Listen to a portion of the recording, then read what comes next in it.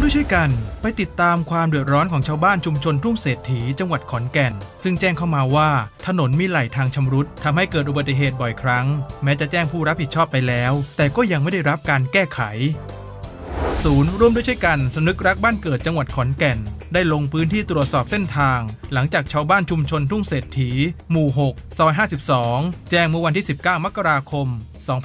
2558 ว่ามีไหลทางชำรุดทำให้เดินทางลำบากต้องใช้ความระมัดระวัง และเส้นทางนี้ยังมีทั้งรถยนต์ จักรยานยนต์ สัญจรไปมา จึงมีอุบัติเหตุเกิดขึ้นประจำเมื่อสอบถาม ชาวบ้านเล่าว่า ทางชุมชนได้แจ้งกับทางเทศบาลนครขอนแก่น แต่ยังไม่มีการแก้ไข มีเพียงป้ายบอกว่าไหลทางชำรุด และเทปกั้นแนวเขตอันตราย ที่ผู้ประกอบการในละแวกชุมชนทำขึ้นเท่านั้น ซึ่งเมื่อดูเส้นทางแล้ว นอกจากไหลทางสุด ยังมีโค้งหักศอกอีกหลายช่วง จึงอันตรายอย่างมาก เบื้องต้นทางศูนย์ร่วมด้วยช่วยกันสำนึกรักบ้านเกิดจังหวัดขอนแก่น ได้ประสานไปยังเทศบาลนครขอนแก่น มีความคืบหน้าอย่างไร จะรายงานให้ทราบครับ